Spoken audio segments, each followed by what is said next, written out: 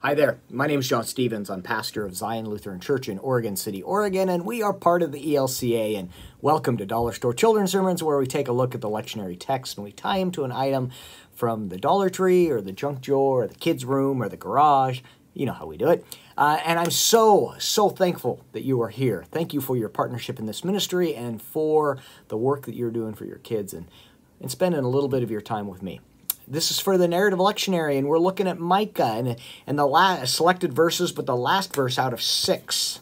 I believe it's out of six, if I can remember correctly, um, out of chapter six, is that favorite verse that um, when I when I read it, I can say tell it automatically, but I start to I mix it around. We've got justice, we've got kindness, and we've got mercy, and we're walking with God, and and all of that, and um, those things that we are called to do, and as people of God, we don't do those things so that God loves us. We do that because God loves us.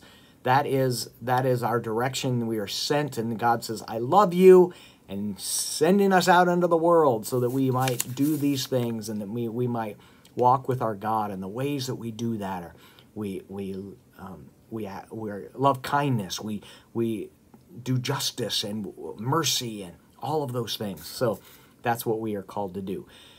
The springboard, the items I'm thinking about, or the, the springboard uh, is a simple game. Now, it could be a game you can pick up from the Dollar Tree. They've got like memory, um, you know, the games where you lay out the cards and you turn one over and you're like, okay, where did I see that?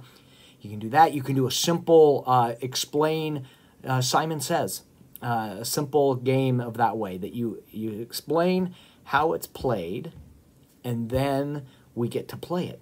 And so I, I see this in this text is that we are um, we are um, we get uh, sorry um, I see someone in the background so I got my squirrels kicked in but um, with this game that we, we're taught it we're told what we're to do and then we're sent out to do it and to play and to, and to take to take that into action. And I see that with Micah.